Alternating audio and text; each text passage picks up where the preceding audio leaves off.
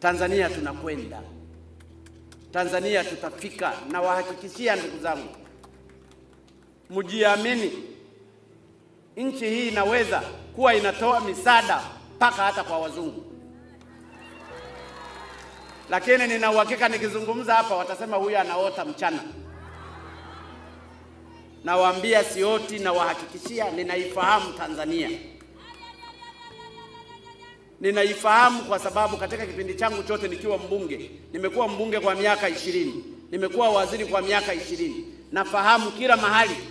Wapo Watanzania ambao ni wazuri sana katika nchi hii, lakini saa nyingine wazuri sana wanakatishwa tamaa. Utakuta anagongwa gongwa anagongwa gongwa mpaka anakata tamaa.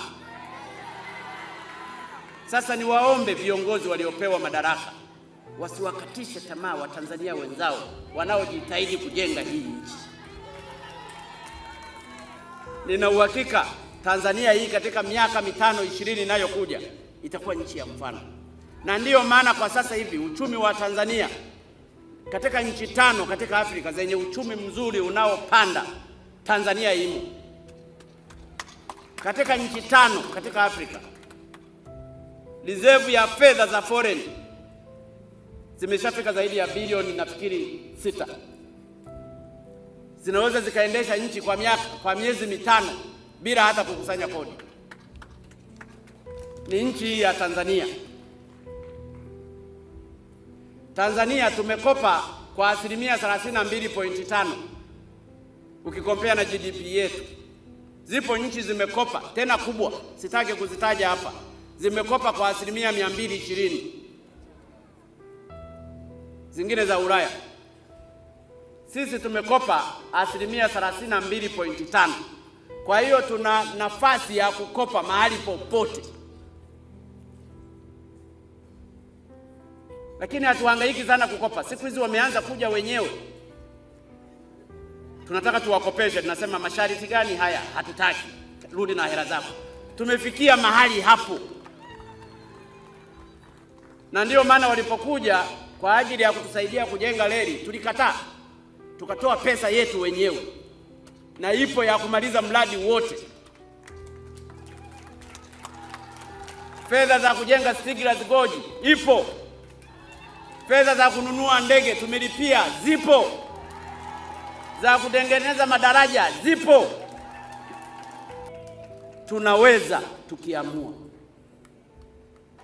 Kwa hiyo mjiamini, ndugu zangu wa Tanzania, kwamba tuko kwenye nchi nzuri, ina rasilimali za kutosha, ina watu wenye akili sana ambao wanaweza kufanya uwekezaji wa aina yoyote. Kinachotakiwa tu ni sisi wa Tanzania, hasa viongozi, tusiwadhulumu watu wadogo.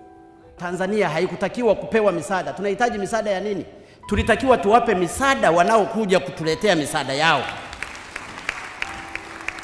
na saa nyingine tunashangilia sana, we have the money, we are so rich. We nenda pale Mwadui ukawaangalia Wasukuma maisha yao walionayo. Wao wanakalia mavi ya ng'ombe, wenzao wanakalia almasi.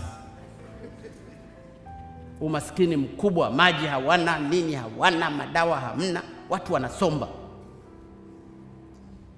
na tunawasindikiza kwa majeshi yetu. Ndio maana ndugu zangu, najitahidi kuyaeleza haya ili Watanzania wajue, angalau hata siku moja mtakuwa mnazungumza kwamba kuna mmoja alisema, na awamu ya tano tumejitolea kusema, na mwenye kusikia na asikie. Kwa hiyo tunapojaribu kufanya haya yote, tunafanya kwa manufaa ya Watanzania wote.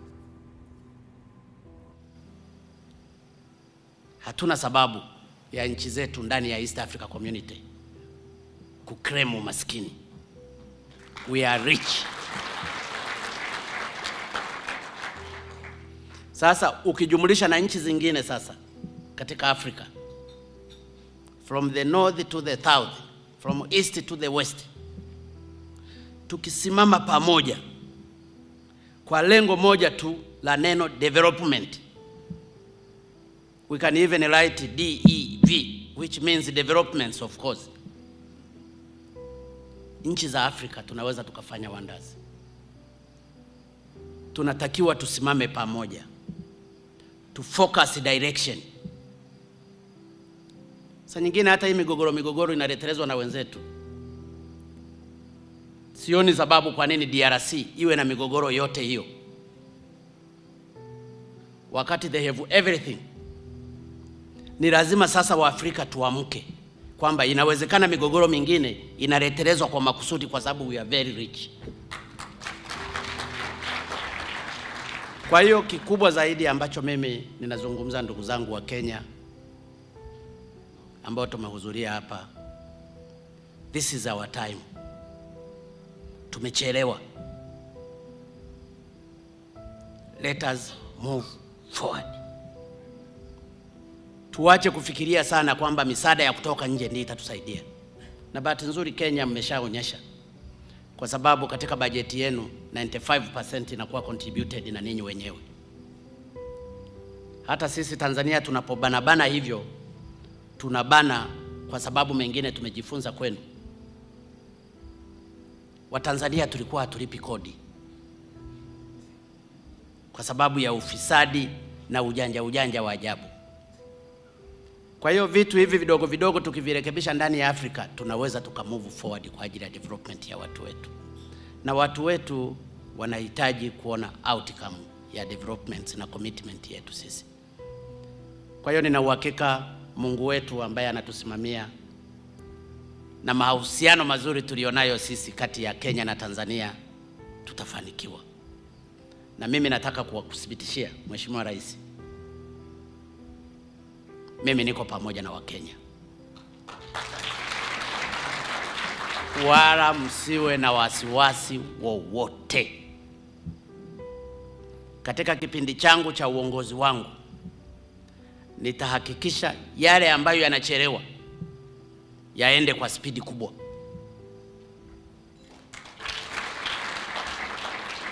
yaende kwa nguvu kubwa, kwa sababu ninafahamu Wakenya ni ndugu zetu, ni marafiki zetu, na tuko wamoja.